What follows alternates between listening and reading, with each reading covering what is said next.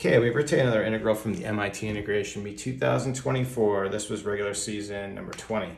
We have the integral from 0 to infinity of 80x cubed minus 60x to the fourth plus 14x to the fifth minus x to the sixth all times e to the minus x dx.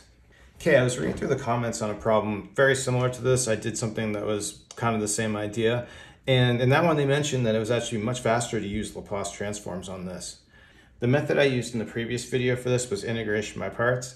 It's not too bad, but it's just kind of tedious when you have a whole bunch of terms. Even just setting up the table is slower than Laplace transform, I think. So if you're not familiar with Laplace transform, let's just go over the definition really quick. So what it tells us, we can write our Laplace transform of some function in terms of t. I guess in our problem it's x, but it doesn't really matter. So what it's going to be is it's going to be an integral from 0 to infinity, just like we have here, of f of t e minus st dt. So in our problem, our variable is x, but we don't have this s here. Well, it's real easy to just kind of create an s. So what I can do on this is, let's just kind of write in an s, write it as sx, and what we'll do is we'll just set the s value equal to 1 right away.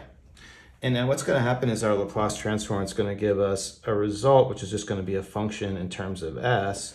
But that's going to be no problem because we know we can just plug in 1 because we have our value here that we've already set s to 1.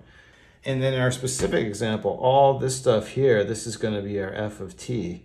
But this is actually no problem to deal with because we have a formula for the Laplace transform of polynomials. We can just use we have this formula that we can use on just one term. If we have the Laplace transform of t to the n, this is just going to be the same thing as n factorial over s n plus 1.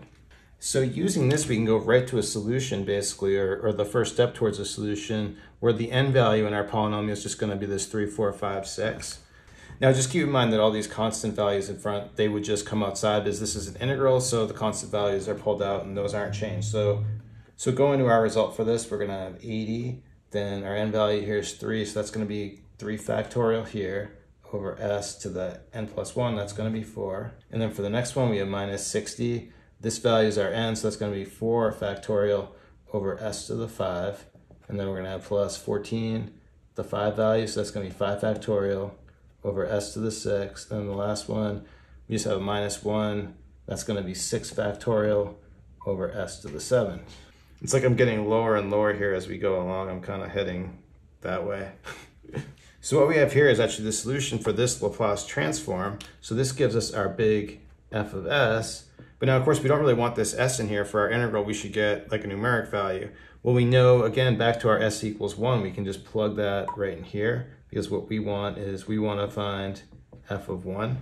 But coming back to our function, you plug 1 in here, that's really easy. That's going to go away because that's just going to be 1 in the denominator. The same thing here, the same thing here, the same thing here. So all we need to do is calculate all this and add it up. So for the first one, this is going to be 3 factorial. 6 times 80 is 480. This one here, when you do 24 times 60, that's going to be minus 1440. Here, 5 factorial is 120 times 14 is going to be a plus 680. Then here, 5 factorial is 120 times 14 gives me 1680. And then here, minus 6 factorial, that's minus 720. Putting this together, we'll add 480 to 1680, and that's 2160. And then we do minus 1440 minus 720, that's minus 2160. And so for my final solution of this, we get just zero. Okay, there you have it. Good problem from MIT 2024 using Laplace transforms. Thanks everyone for watching. Have a good day.